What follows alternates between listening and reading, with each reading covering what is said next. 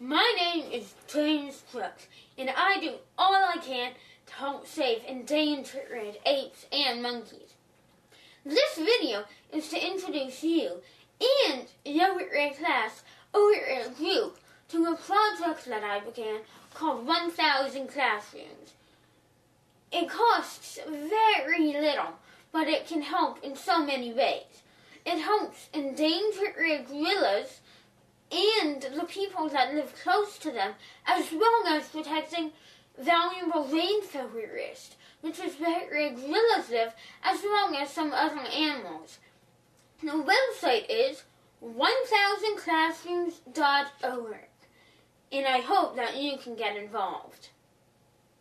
I know that to help threatened animals, we have to help the people that live close to them, and we want to save the planet and the animals, kids must get involved. Now my friend Jess is going to tell you a bit more about apes in the 1000 Classrooms project. Go ahead, Jess. Thanks, James. First, I'm going to tell you a little bit about apes. Apes are our closest living relatives. Some share close to 99% of the same DNA with humans. Some people think that apes and monkeys are the same, but they're actually different. Some differences are that apes are usually bigger than monkeys, and apes don't have tails. But many species of apes are endangered, many critically, and we must act now to protect them. James began a website called apeaware.org to inform people about apes and to help save apes. The website has lots of information about apes and also has links to lots of fun ape-related activities like puzzles, games, quizzes, and videos. Please visit it if you're interested in learning more about them. Now I'll tell you a little bit about each type of ape. Apes are divided into two groups, lesser apes, great apes. The lesser apes include all the species of gibbons, including siamangs. Gibbons live in Asia and are endangered because of the loss of their habitat.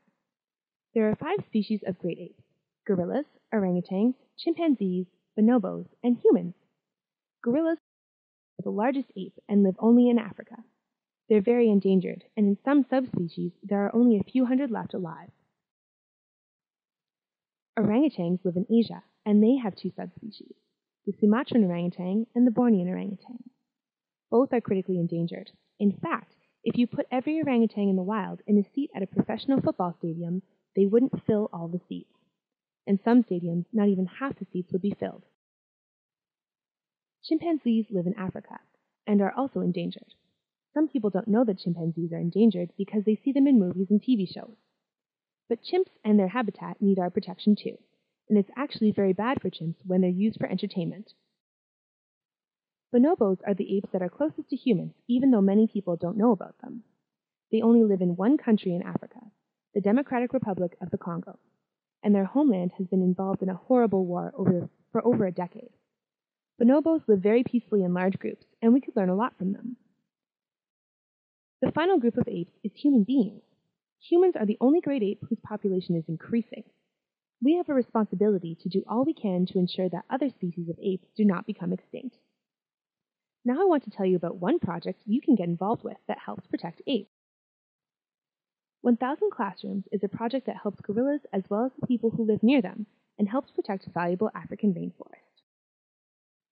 As I already mentioned, gorillas are extremely endangered and need our help to make sure they're safe from hunting and disease, and that their habitat isn't destroyed. Some people think gorillas are mean and vicious, like in the movies, such as King Kong. But actually, gorillas are very peaceful and vegetarian and would only hurt humans if they felt threatened. Gorillas are actually very social and their babies love to play. Gorillas are big but extremely gentle. Now I want to tell you a little bit about the situation in Africa, where the gorillas we're helping live. The eastern lowland gorillas live in a national park, and rangers protect them and make sure their habitat is safe. Biega School was built near the national park so that rangers and their families could be together while the rangers work. Children at the school are taught the same things we're taught, but they also learn about taking care of the environment and protecting gorillas. In the Democratic Republic of the Congo, children often grow up to have the same jobs as their parents, so these kids will probably grow up to protect gorillas too. Sadly, many park rangers have been killed by poachers who want to hunt gorillas, and by refugees who want to move into the land and hunt the apes for food. Often this is the only food they can get and the only suitable place they can find to live. When the rangers are killed, they leave behind their wives and children. The families don't have enough money, and the children don't have enough food. The widows need a way to make money to support themselves and their families, and the children can't study well if they don't have healthy food to eat.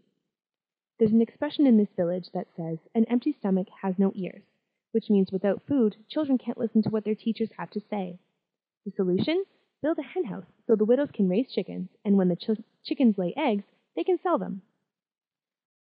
School 1000 Classrooms works with is, the eastern, is in the eastern part of the Democratic Republic of the Congo, where war, disease, and poverty have killed millions over the past decade. Here's the DRC in the center of Africa. And this is where the school is. Eggs for Kids program was started by the Canadian Ape Alliance, a great charity that helps apes and people who live near them in many ways. The Ape Alliance provided funds to build the hen houses and buy the chickens, and now the widows sell eggs so they can make that money. The Canadian Ape Alliance buys some of those eggs and donates them to the environmental school. They try to give one egg each day to each student and teacher. They cook those eggs on brand new fuel efficient stoves. Because the stoves don't use that much fuel, fewer trees from the forest are cut down and less pollution is created. Through this program, widows make money, children get healthy food, and they will grow up to protect the gorillas. If the people of this area have food and money, they won't need to hunt gorillas, and they won't need to move into their habitat. When eggs are sold at such a low price, we hope everyone in the area can buy them and have a healthy diet. People and gorillas can both thrive. Now I'd like to talk to you about how James's project 1000 Classrooms works and how you can get involved. We're trying to get 1000 different classrooms er, or groups, such as Cubs, Brownies, or camp groups, to donate only $3 to buy a dozen eggs. The profits from selling the eggs will give poor widows and their families a source of income, and the students at the environmental school will get nutritious food. And by doing all of this, the gorillas are also being protected. Classrooms and groups often give more than $3. Some have even donated even a 100 There's no limit on how much you can donate, but each person only needs to donate 25 cents. We've already raised thousands of dollars, but we still need to raise much more if we're going to save the gorillas. Each classroom and group that participates is mentioned on the 1000 Classrooms website on the Honor Roll page. 1000 Classrooms helps widows, kids, and gorillas, and helps protect valuable rainforest. When kids learn they can get involved, they can make a big difference. Dr. Jane Goodall, who has dedicated her life to helping apes and the environment, once said, It's not that children can make change, they are making change. You too can help change the world. This is a photo of Dr. Goodall with James, the founder of 1000 Classrooms. I really hope your class or group can get involved and that you can encourage others to help as well.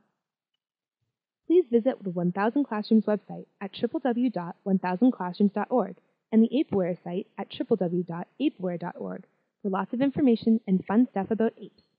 Thanks for watching, and now here are a few more words from James. I hope that you can get your class or your group involved in the 1000 Classrooms project.